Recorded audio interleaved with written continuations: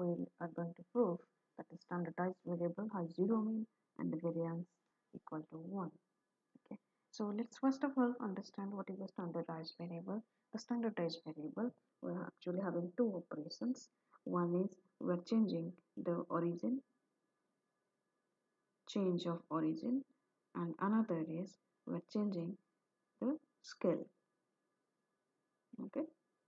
Change of scale so change of origin when it happens where suppose y i star this is your standardized variable and this has become uh, the change of origin is yi minus y bar. Y bar is your mean and this yi is your values of y. And then this is your change of origin and when change of scale this is your standard deviation so this is known as your standardized variable. And we want to prove that this standardized variable is having zero mean and one as variance okay? So let's see. How do you prove how do you prove you uh, get your mean? Mean is this will be divided by n right? And not only that we take the sum of these differences between this and then we divide it by the total number of observations. So y star bar. Okay.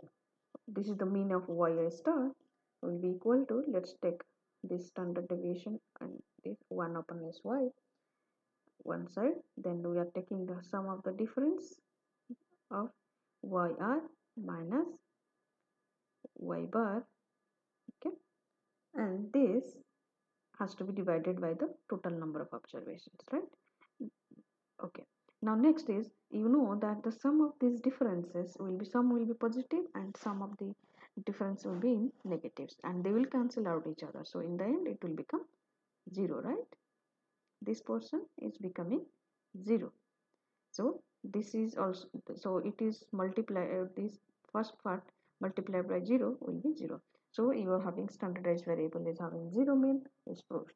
Next let's talk about the variance. How the variance will equal to 1 okay? So as you know you you know the standard deviation square that is your variance. And this will be equal to the what is the the square of the differences and their sum divided by n minus 1 this is your upper part and this will be divided by your standard deviation square right? So as you know this is actually the standard deviation of sy square okay? So sy square divided by sy square it becomes 1 okay